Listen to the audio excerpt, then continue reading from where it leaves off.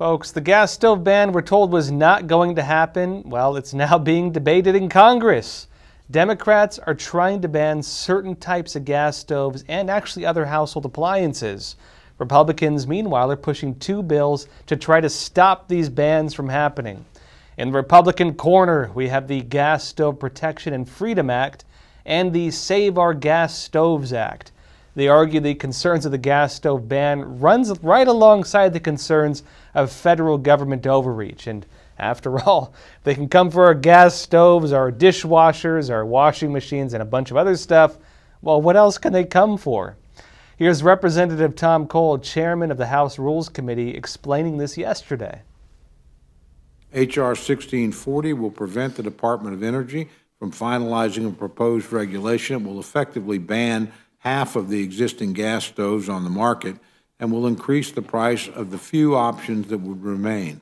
An H.R. 1615 uh, will prohibit the Consumer Product Safety Commission from regulating gas stoves as a banned hazardous product or enforcing a product safety standard that bans gas stoves or substantially increases their price. Uh, while Republicans are trying to stop the restrictions from taking place, Democrats are doing their best to push the restrictions through. Representative Jared, Jared Moskowitz, a Democrat from Florida, pushed two amendments to the Republican legislation in what looked like jokes. First, he called for an honorary gas stove statute in Statuary Hall. Watch. My second amendment uh, would give gas stoves, I think, the honor that they deserve. Uh, you know, a stainless steel six burner double oven in Statuary Hall. Uh, you know, we have, uh, we have statues there that are made of marble and bronze, but we don't have anything of stainless steel. And so I think this could be uh, the first one. That's not all. Representative Moskowitz also suggested changing the name of the bills to make Make Appliances Great Again or Stoves Over the Gun Over Gun Violence Act. Watch this. I propose creating a position in the U.S. Department of Energy for the sole purpose of fighting the war on gas stoves. This amendment would create this position in the department, the Supreme Allied Gas Commander, a position that young boys and girls can one day aspire to. Now, switching over to H.R. 1615, this amendment honors, uh, uh, honors this amendment by also changing its name to Make Appliances Great Again. Many of you already have the hats and shirts and flags and boats, so I figured we would just make it easy uh, so that you could show uh, your support uh, for this amendment. And if you don't like that slogan, because that, you know, something of four years ago, uh, we can, my last amendment, uh, my second amendment on that one changes the name uh, to uh, Sto Stoves Over Gun Violence Act. Basically, his argument is that it's a non issue. Moskowitz later told CBS News, I'm not hearing about this issue back home. No one wants to ban gas stoves, neither does the Biden administration. This is totally ridiculous. But, folks, this is unfortunately really misleading. The Biden administration is, in fact, pushing for bans on many types of gas stoves. It appears the Democrat pushback, the narratives they're using, they're using plays on words. They're suggesting there is no full ban on gas stoves, which there's not. There is no proposed complete full ban on gas stoves. But there is a push for a partial ban, and that's where the Republican concern is. In fact, the government's proposal, the one they have right now from the Biden administration, would result in a ban of roughly half the gas stoves currently on the market. Again, you could argue that they don't want to ban gas stoves. They're not banning all of them. But banning half the gas stoves, that is still a ban. And it doesn't stop at gas stoves either. The Biden administration policy in question is from the Department of Energy. It's the new so called Energy Conservation Program, Energy Conservation Standards for Consumer Conventional Cooking Products. And in February, the DOE published proposed rules for stoves to align with them with energy conservation standards. That's the so called gas stove ban. This would mean new rules on annual energy consumption, not just for gas stoves, but for electric stoves as well, interestingly. And that's just a small piece of it. Proposed efficiency standards, as they call them, well, they would also put regulations on washing machines, refrigerators, and many, many other appliances. The government is saying the restrictions on clothes washers and refrigerators will actually save you money in the long run. While, of course, critics say it would result in less effective products that can't hold as much as they need, meaning you have to run them multiple times, anyways. But Secretary of Energy Jennifer Granholm said in a release this She said, with today's proposal, we're building on a decades long effort with industry, in, with industry to ensure tomorrow's appliances work more efficiently and save Americans money. And since taking office, President Joe Biden's administration, notably, has taken over 100 actions to enforce new efficiency standards on appliances and on products. This includes, for example, the ban on incandescent light bulbs, the restrictions on air conditioners and home furnaces, restrictions on water heaters, and many, many, many others. And probably many more restrictions still in the works. Of course, you also wouldn't be wrong to think it's all Republican make believe, because, well, the establishment media has been downplaying all of this from the very get go. Back in January, New York Times was actually running a similar narrative to what the Democrats are now using. An earlier headline on this story read this No, Biden is not trying to ban gas stoves. But they changed that headline to Ban gas stoves, just the idea gets some in Washington boiling. And if you read the story, well, it includes an interview with a White House spokesman making it sound like the whole claim is just a big conspiracy theory. The White House spokesman tells the New York Times, quote, "The president does not support banning gas stoves, and the Consumer Product Safety Commission, which is independent, is not banning gas stoves." But it looks like that's just plain old not true.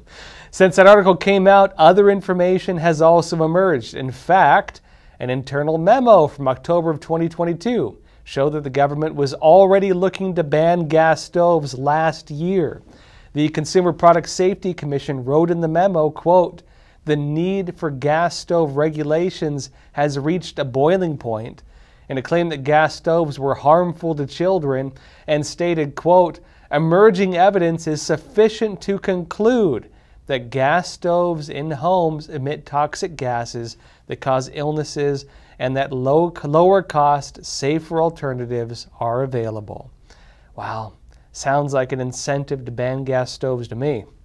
Stay tuned after the break. We'll be going into how the agenda against gas stoves, well, it's a bit bigger. The program ties into the United Nations and the World Economic Forum and the various policies they have. Welcome back. The push to ban gas stoves, it's tied to the Department of Energy's many new proposed restrictions on household appliances. It also turned out that Biden's Energy Secretary, Jennifer Granholm, met privately with a group that funded the study that started the whole debate on gas stoves. The group is the Rocky Mountain Institute, or RMI. The study in question was called this population attributable fraction of gas stoves in childhood asthma in the United States. It was released in December of 2022 and tried drawing a connection between childhood asthma and having gas stoves in a home. That report has since been called out for using some really flawed studies and flawed science.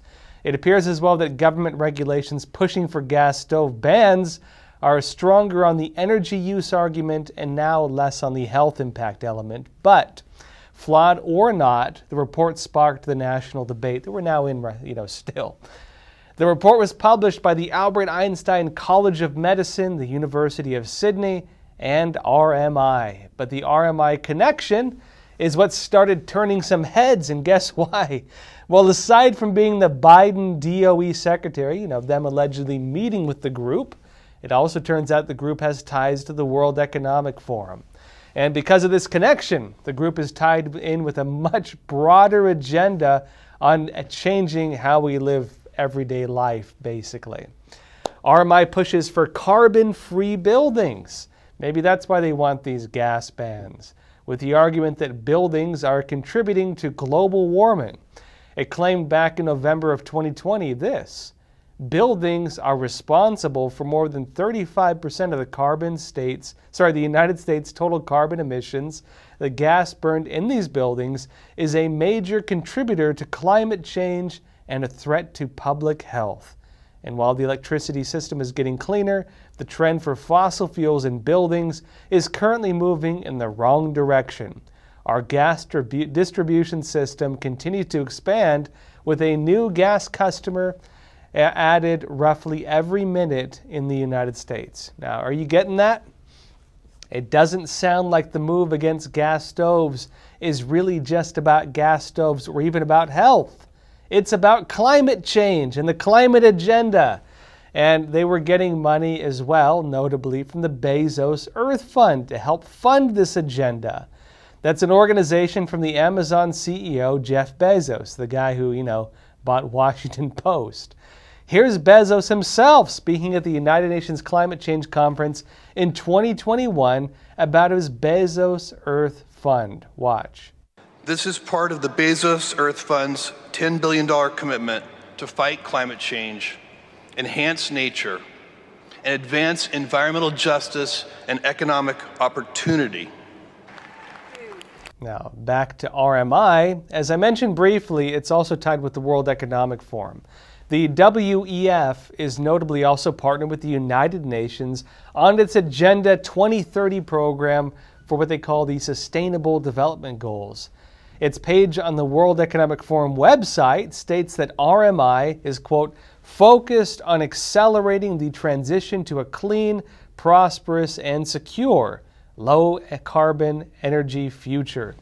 And most importantly, the WEF notes what a key agenda of RMI is. Guess what? It's tied in with the WEF program for creating a net zero carbon future for cities. The official page on that program says it brings together businesses from 10, secure, 10 sectors with city, regional, and national government leaders to accelerate urban transitions to a net zero future. And part of this is to repurpose older buildings and to change government policies and business models to reduce carbon emissions. So, where do the gas stoves come in? Well, it doesn't seem to be just about gas stoves. It's about energy use and gas emissions overall. In fact, it seems very much in line with the government's many policies to restrict a long list of household appliances. As the World Economic Forum notes on its net zero carbon future for cities uh, program page, quote, buildings can play a key role in combating climate change. It includes a long list of cities that are already on board with that agenda. That includes, among many, Manchester in the United Kingdom, Shanghai in China, and again, many, many others. Then there's a related WEF program called this Building Value Framework. According to its official report, it focuses on accelerating the decarbonization of buildings. And the goal of this program, focused on buildings, is to eliminate carbon emissions. But none of this should see, really seem too far fetched for those of you in the U.S. Remember that in the United States, Representative Ocasio Cortez has pushed an almost identical program under her Green New Deal. Part of that included a massive plan to change schools, farms, and many other things, including your own home.